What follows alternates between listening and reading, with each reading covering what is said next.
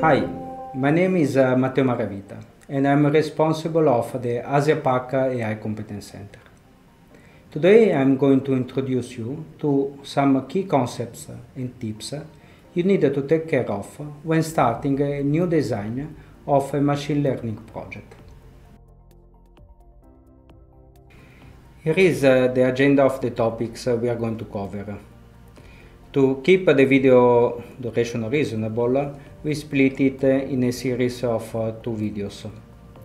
In the first one, we will introduce some key concepts of uh, machine learning. And we will start our uh, design journey with data collection, data inspection, and data cleaning. In the second one, we will focus more on the features that are extremely important for any kind of uh, machine learning uh, project. Then we will see how to evaluate the performance of the model that we have built. Finally, we will have uh, some additional information that may be useful for you in the future.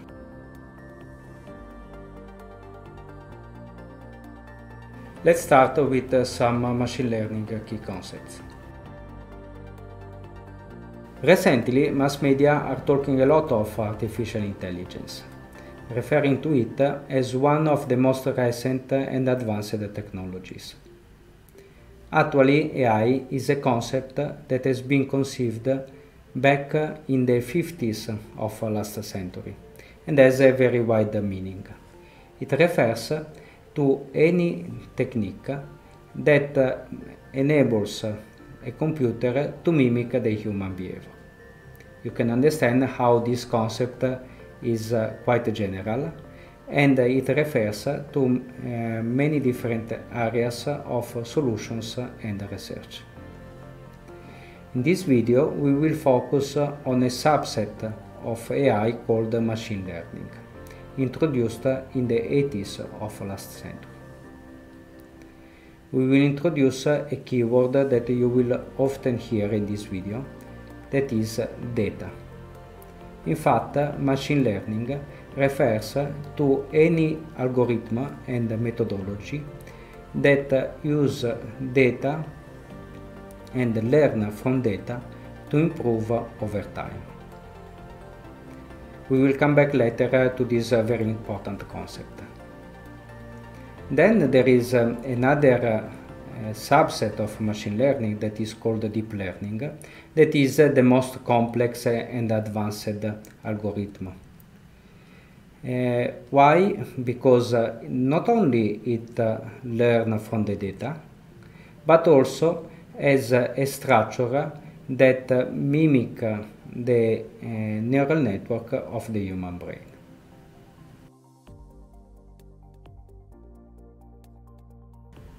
When we deal uh, with uh, machine learning projects, uh, at first we needed to change completely our approach to problem solving. In fact, with standard programming technique, we use a so-called a priori approach. In our brain, when we think of a problem, basically we already picture and consequently design the algorithm that we think that will solve the problem. Thus, we are already uh, writing the solution from the real beginning. While in machine learning, we use an empirical approach. We start from collecting data from observations of the system, both input data and desired output data, and we derive the algorithm that will best fit the data and observations collected. Obviously, we don't start uh, from a blank sheet, uh, but we select uh, a few uh, machine learning models available and uh, we try to find the parameters that will give the best performance. In other words, we need a completely new mindset. Whenever we use uh, machine learning or uh, deep learning on embedded platforms, uh, we need to follow five key steps uh, in the design process. At first, we need to collect the data from our system and to save them in some uh, data logs. The second step is to clean the data and eventually to make some pre-processing on them. We need also to add the labels uh, to them in case of a supervised model. Now we have the so-called dataset. In the third step, we start from the dataset and we use it to train the machine learning model, or we say also to fit it. In the fourth step, it depends if we are running on a PC or on an embedded platform. On a PC, we can run simply the Python libraries available for AI solutions. While on embedded platforms, we need to convert from these libraries to C code for microcontrollers like the STM32 or to register settings uh, for uh, hardwired solutions like the machine learning core present in uh, the STMEMS. The final step is to validate the machine learning model created on a real-time application. Talking about uh, traditional machine learning uh, solutions, uh, we have a wide variety of models that can be used, each with some pros and cons. We will focus our attention from now on on one of them, called Decision Tree, for two main reasons. The first reason is that it is uh, very simple to understand and will help us to go through all the key steps of a machine learning model design. The second reason is that it is the one used in the hardware engine present in our latest family of motion MEMS, called Machine Learning Core.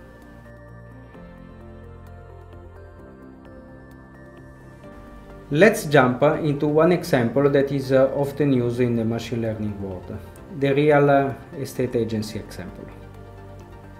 We need to define at first three key points. The problem, the features or the input uh, to my system, to my algorithm, and the desired output. The problem is to understand if the customer will buy or not buy a house. The features or inputs are a number of information uh, that we think that are relevant to solve this problem, like the uh, cost of the house, the number of the rooms, the distance from the stations, and so on. The desired output is to understand if uh, the customer will buy or not buy. So in this case, we are talking about uh, a binary classification problem.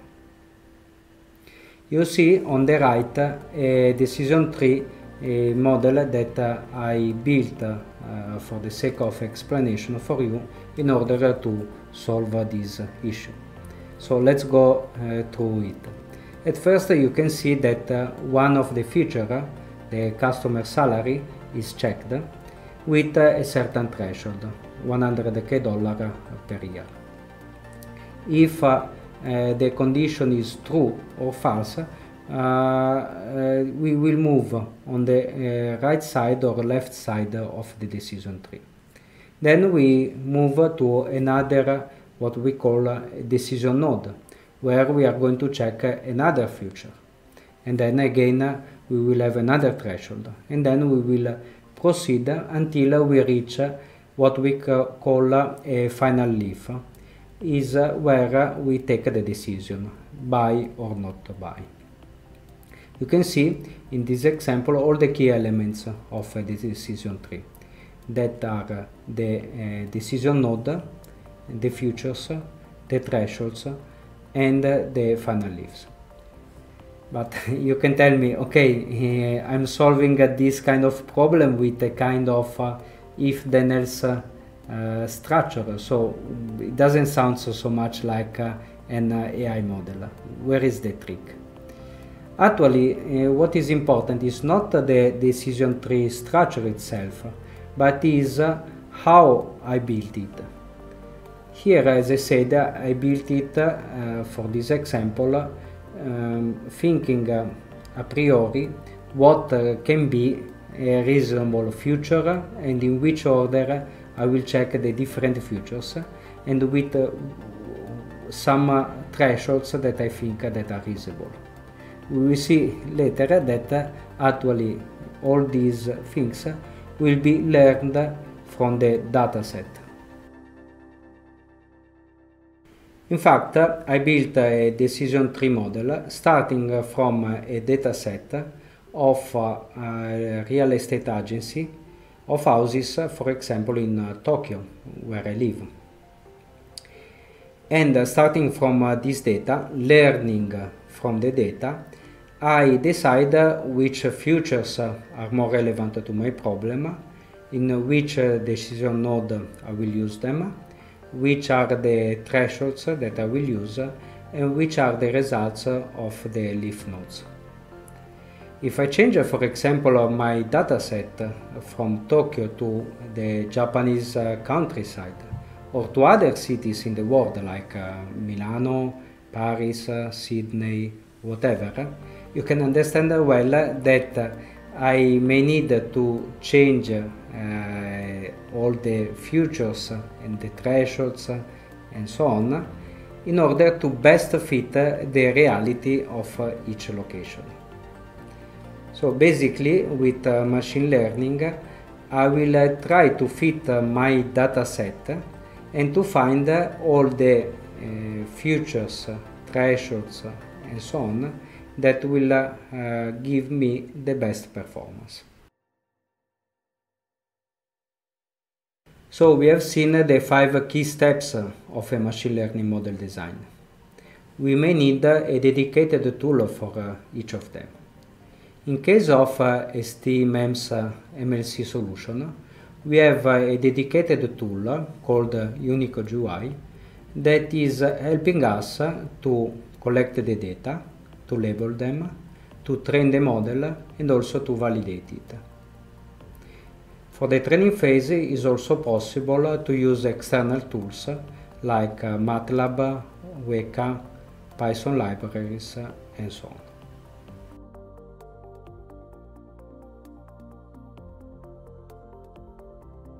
Let's start from the data collection. We need at first to select the right Eh, hardware platform or evaluation board with the right sensors eh, for my use case. ST is eh, providing a wide variety of evaluation boards and in this case we will focus on the ones that are mounting the motion MEMS with the machine learning core function. Also we need a software tool in order to log the data coming from the sensors. In case of ST we are offering a tool called Algo Builder Suite eh, in order to copy it. When collecting the logs for my dataset, I needed to decide at the very beginning few key points. The first one is the definition of the classes for my problem, since that we are talking about a classifier model. The classes are uh, basically the desired output of my machine learning model. In this case, uh, I have a couple of examples of a motor vibration problem or uh, a human activity uh, recognition problem. The second point is the selection of the most appropriate sensor uh, for my problem. I may decide to use only the accelerometer or I may need to use also a gyroscope or other sensors like a pressure sensor, magnetometer and so on. The third point to decide at the very beginning is the settings of this sensor. For example, for motion MEMS, I need to decide the output data rate and the full scale. In fact, if I'm going to change later one of these settings, I may need to restart all the process from uh, the beginning and I want to avoid it. When collecting the data, I need to take care also of other important factors. The first one is uh, data consistency. For example, if I'm uh, collecting the data log in my lab, I need to make sure that the conditions and environment is similar to my application use case and eventually integrate the data later with other acquisitions taken in the real world application. The second point is to have a so-called balanced dataset. Since we are talking about a classifier, I need to make sure that each class has a similar amount of sample. In fact, if I have one class with less samples than others, this class may be later not well recognized and the model may be polarized versus the other classes. The third point is the data log format. Sometimes it's easy to forget about it or uh, when dealing with a large amount of data to mix data with different formats. This is why, for example, in ST, in all, all recent demos, we are uh, using a predefined data format called high-speed data log. Once all data are collected, eh, we can now move to the machine learning model design. After applying uh, some filtering or pre-processing uh, to the raw data coming from the sensor, we can uh, calculate uh, and select the features that represent the inputs to my machine learning model. This is where there is a major difference between the machine learning and the deep learning approach. In fact, while in machine learning the selection of the features is extremely important, in deep learning we work usually with raw data and uh, the features are automatically calculated and selected by the neural network itself.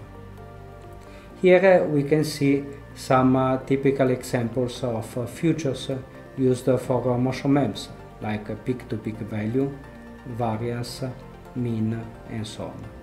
We will come back later to this important aspect. Once the features are calculated, the decision tree can be built. In a similar way to the example we have seen before with the real estate agency. In fact, we can see here that we are just changing the name of the features and the binary outputs with the ones used for motion MEMS. It's very important to remember that usually in machine learning uh, we split the overall dataset in the so-called uh, training dataset and test dataset. In fact, we are using only a part of the overall dataset to train the model, usually 80% in case of uh, small, medium size datasets. And we will use the remaining part, uh, the test dataset, in order to evaluate the performance of the model built. This is done in order not to cheat. In fact, if I'm using uh, to evaluate the performance the same data that I used to train the model, basically uh, I cannot make sure that the model uh, Uh, will perform well also with data slightly different. Basically, I'm checking if the machine learning model is able to generalize enough.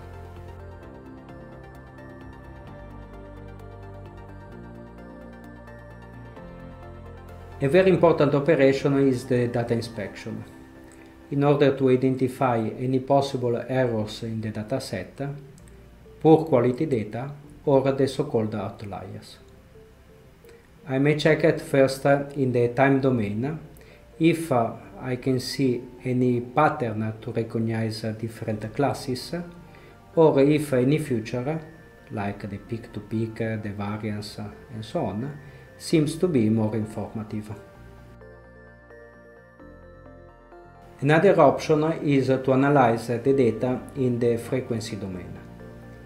In fact, sometimes we can observe that some classes have a very peculiar frequency footprint. Like in this example, where we can recognize easily the walking class from the jogging or running class just looking at the FFT of the raw data coming from the accelerometer. One operation that is uh, often neglected or to which uh, AI beginners uh, don't pay so much attention is the process of data cleaning. In fact, since we have said that the machine learning model is learning from the data, any kind of error or poor quality data will have a drastic impact on the performance of the model built. In machine learning world, AI engineers usually refer eh, to it with the eh, famous sentence garbage in, garbage out. For example, in this eh, real use case, where we wanted to detect the different operation of a power drill, whether is tightening or untightening a screw, you can see in the logs that are present also data of a non-drilling condition. We should put this data in a different dummy class, like idle or other. Usually the labeling process uh, cannot be done uh, automatically very easily and uh, we need to do it manually. The last point that needed to be decided is uh, the selection of the most appropriate window size. In fact, we need to make sure, after uh, a data analysis and visualization, that all the signal of interest is uh, properly captured.